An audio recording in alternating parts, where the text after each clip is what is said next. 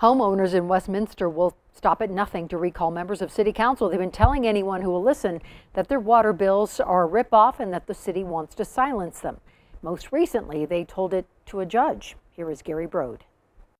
In the late hours Friday night, while many of us were going to bed, an Adams County judge ruled on a case that could have a huge financial impact for everyone living in Westminster. In so many ways, it restored my, my faith in our legal system. Bruce Baker was once a council member for the city of Westminster. Now he's part of a group trying to recall four current members for their role in a drastic increase in water bills over the last year. We've been delayed by more than five months now more than five months. We should have had this recall election in January. And probably the soonest we can have it now is June. The delay started when 27,000 signatures were turned into the city clerk's office calling for the recall.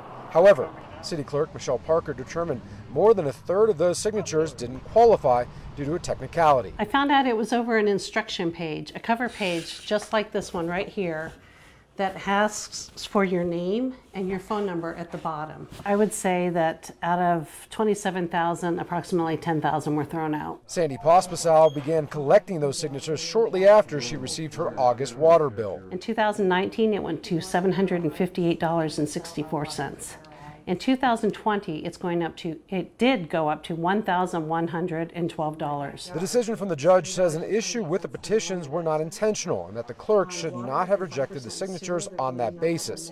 In other words, the cover page was not enough reason to shut down the recall efforts. We reached out to the city clerk and the council members facing possible recall. They referred us to the statement by the city of Westminster, which says in part, the court finds there is no evidence from the hearing indicating Miss Parker neglected her duty for objectivity. So as it stands now, the city clerk has until April 28th to review the signatures that were thrown out to either accept them as valid or show cause for rejecting them.